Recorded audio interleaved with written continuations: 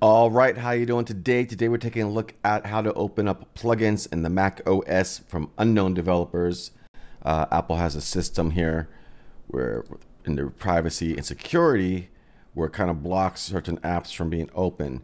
So what happens is you might see this message, like for example, this one here. Um, the installer not open, Apple cannot verify, blah, blah, blah.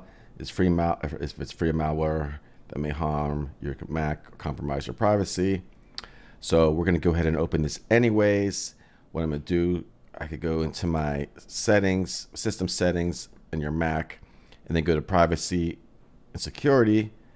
And then you get this thing where it says, I just closed that out, it says uh, was blocked protect your Mac, open anyways. And then this should pop up where it says move the trash, done, or open anyways. In this case, we're going to open anyways, put our password in, and then we can continue.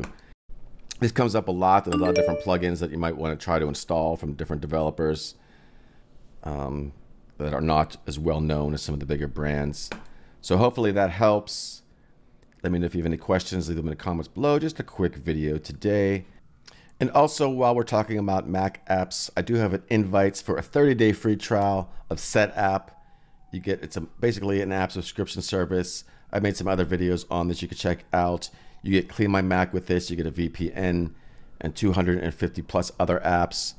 These are some of the ones that I have on my computer now. There's a lot of really good gems in here and all kind of really cool stuff in here. So check that out as well. There'll be links in the video description below for your 30-day free trial. Uh, it's normally seven days, so I got a 30-day one for you. So check it out. All right, talk to you soon.